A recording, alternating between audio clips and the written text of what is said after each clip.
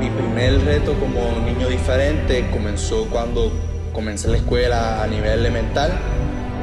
Yo intenté siempre de ser sociable, intenté ser la amistad, intenté involucrarme en las cosas, pero me vi que era difícil para mí porque tenía miedo de que la gente me dijera.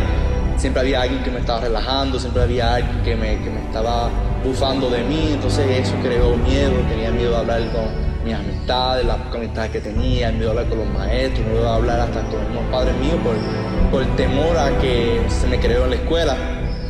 Que sí comienzo a ser más sociable, he mejorado mi forma de hablar, eh, mi confianza pues, se sube, mi, mi, autoestima también ha subido.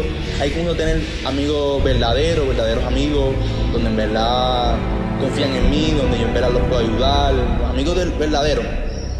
Y allí donde yo comienzo este, a jugar baloncesto. Fue por una invitación de uno de los compañeros de clase y yo, pues, vamos a jugar. Y así fue, comencé a jugar y aunque al principio pues no era muy bueno, pero vi que, que era algo que me gustaba y, era algo que yo podía seguir desarrollando. Mi, papá también es deportista, es deportista juega baloncesto. So, vi que me puede ayudar y puede darme algunos consejos de cómo puedo mejorar las cosas, cómo yo puedo este, ser mejor jugador. Y de ahí que yo comienzo con un reto de poder ser uno de los mejores jugadores de la escuela. No era fácil.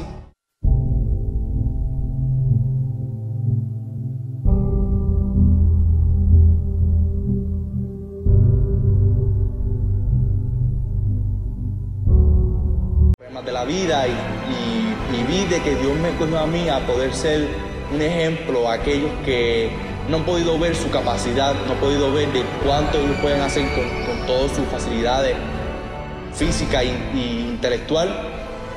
Y le enseño cómo yo, a pesar de mis discapacidades, podía coger cualquier reto y, echar para adelante y, poder salir exitoso. Así que quiero ser instrumento para otros. Para mí, en mi vida, hubo mucha gente clave que me ayudó a superarme a mí, a mí mismo y que yo ser de igual forma a eso.